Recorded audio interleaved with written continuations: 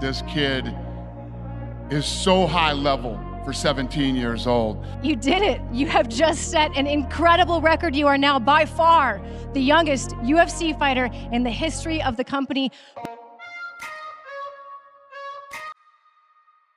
Not only is MMA the world's fastest growing sport, but it is also one of the most brutal and toughest in history. Being in the cage could appear dazzling to the audience, but behind the flashing lights and cheering audience are hours of hard work, sweat, and tears, putting yourself through extreme physical and mental strain, going through cuts, blood, and the occasional broken bone. The UFC octagon is no country for young men. Amidst this, some UFC champions defied their ages and claimed championships to prove that age is not a limiting factor. But before anyone could write history, UFC had to rewrite the rules. Joining the Ultimate Fighting Championship as a fighter requires you to be 18 years old. But did anyone imagine that UFC will sign up a 17-year-old kid who is still in high school and grant the teen a special license before the end of the show? Can you believe that a teenager could defeat a guy twice his age and become the youngest fighter in the history of UFC? Well, it might be time to start believing, as we have a living example of Raul Rosas Jr., a young man who is continuously underestimated by the people around him, a fighter whose dream of a better future for his family comes through professional fighting. Sit tight because this story of a 17-year-old boy is far from ordinary.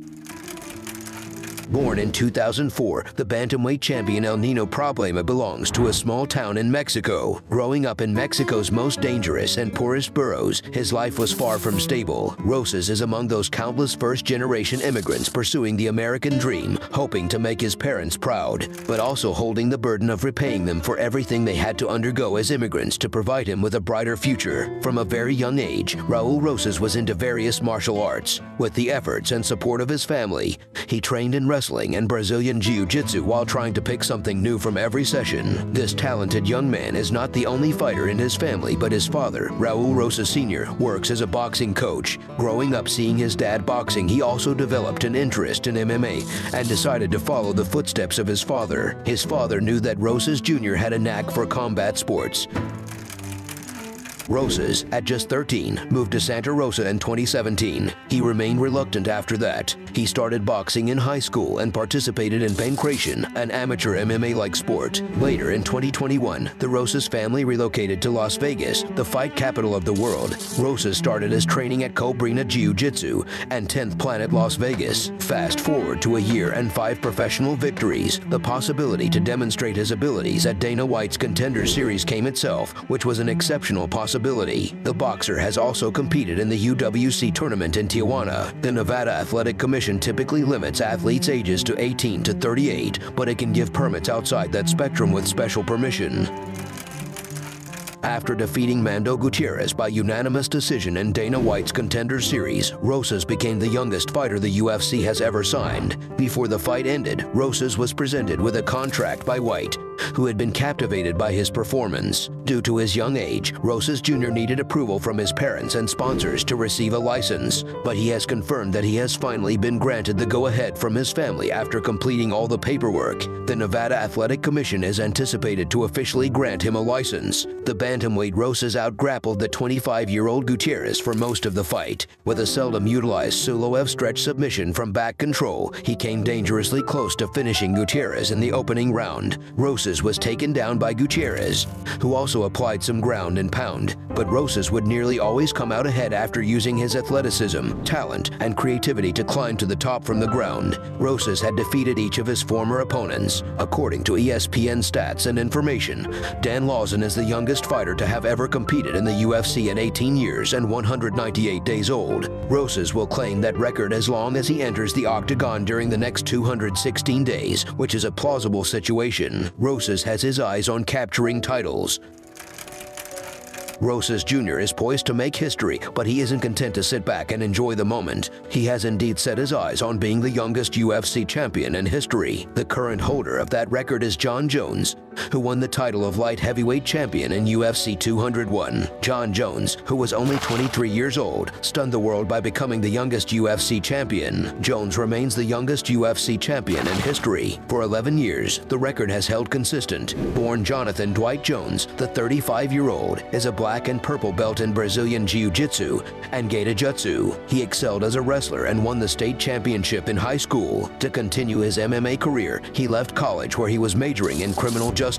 Jones has a vast compilation of accomplishments, which includes the most victories, submission wins, championship defenses, and winning streaks in the light heavyweight division. After quitting the light heavyweight class, the father of four is now aiming for titles in the heavyweight division. Young champions like Jon Jones are becoming the norm in the world of MMA. Not long ago, there was an era when the UFC's heavyweight category was ruled by fighters who used to be in their 40s. Currently, Cain Velasquez, 31, is the only UFC champion who has managed to reach his 30th birthday. Talking about the youngest champion of UFC, how can we forget the legacy of Jose Aldo? The Scarface started his boxing in Brazil before he turned 18. When Aldo was 21 years old, he had already joined the WEC, the top featherweight promotion at the moment. Aldo was granted the opportunity to face 145-pound champion Mike Brown after defeating his first five WEC competitors. Additionally, the Brazilian defeated Brown to win the WEC featherweight championship at the age of 23. He would have become the youngest champion in UFC history if the contest had taken place inside a UFC octagon. Aldo had to defeat his opponents twice more and wait a full year before being elevated to UFC champion. He was briefly the youngest fighter to retain a UFC championship thanks to that promotion, but the title was short-lived.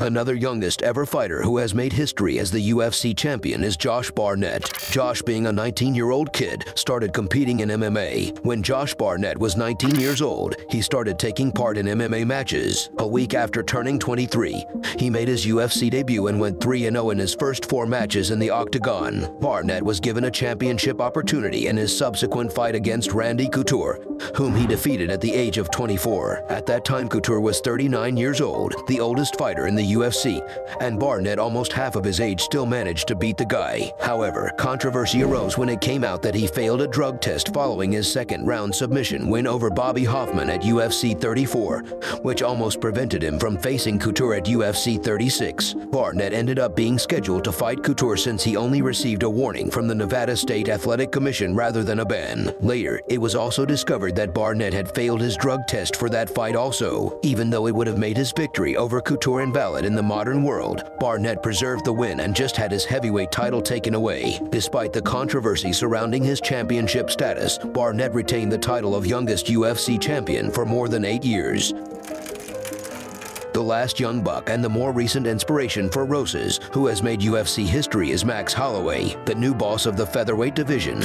Max Holloway made his UFC debut in 2012 at the age of just 20, making him the youngest competitor on the roster. Consequently, Holloway experienced early difficulties. He was only 3 and 3 during his first six fights in the octagon. The boss has instantly proven himself as one of the top fighters in the world right now, pound for pound, regardless of weight class, thanks to his stellar achievements and amazing amazing boxing abilities. In a newly released ESPN footage, a youthful Holloway, then 13, is seen working out vigorously when he had just begun fighting and talks about how he went on to fight his first professional battle after only three days of practice. The champion, as a young 13-year-old boy, also discussed his family's struggles and the individual issues they encountered as a result of his dad leaving him and his family.